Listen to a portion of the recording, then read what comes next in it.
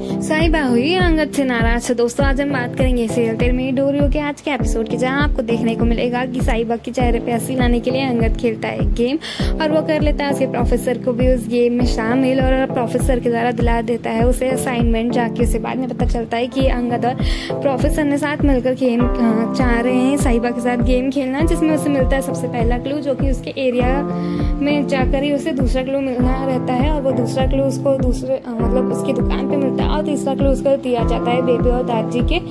हाथों जिसमें जहाँ की हो जाती है, पर वहाँ पहले ही अंगद की मम्मी प्रेजेंट रहती है और अंगद की मम्मी पूछती है कि तुमने क्या क्लू क्लू लगा रखा है? ये कौन सी इडियट सी चीज़ है जो तुम अपनी बीवी के साथ खेल रहे हो? बराग ग्रुप के एमडी होने के बाद तुम ऐसे इडियट से गेम खेल रहे हो।